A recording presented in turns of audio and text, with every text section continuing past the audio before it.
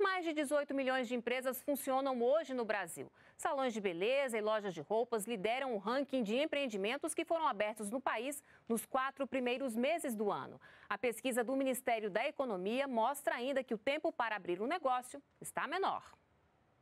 O mapa de empresas mostra informações atualizadas sobre os estabelecimentos comerciais registrados no país. Bruno é empresário em Brasília há 12 anos. Para quem está querendo empreender, isso é maravilhoso, porque você já vai ter um norte já. Essa análise de mercado que eles te dão é muito boa, onde está fechando mais negócio, onde estão abrindo mais, onde é mais rentável, possível concorrência. No primeiro quadrimestre deste ano, foram abertas 1 milhão e 38 mil empresas o que representa um aumento de 1,2% em relação ao último quadrimestre de 2019.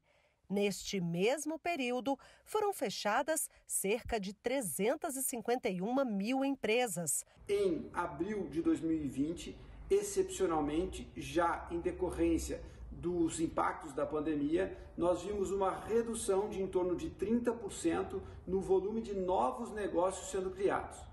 No entanto, não houve impacto o número de empresas fechadas, encerradas nesse período a partir eh, da pandemia do coronavírus. O mapa de empresas veio para facilitar o acesso a informações precisas relativas a negócios no país. A ferramenta é acessível a qualquer pessoa e permite acompanhar, por exemplo, o movimento de abertura e fechamento de empresas por tipo de atividade e localização geográfica. Os setores que mais abriram empresas no primeiro quadrimestre foram cabeleireiros, manicure e pedicure, comércio varejista de artigos do vestuário e acessórios, promoção de vendas, obras de alvenaria e fornecimento de alimentos preparados para consumo em casa. O mapa também mostra o tempo para a abertura de uma empresa no Brasil, que é em média de 3 dias e 21 horas.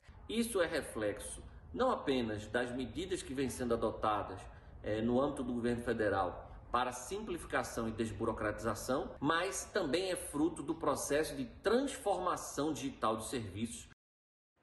E para acompanhar mais informações sobre o mapa de empresas, é só acessar www.gov.br/economia.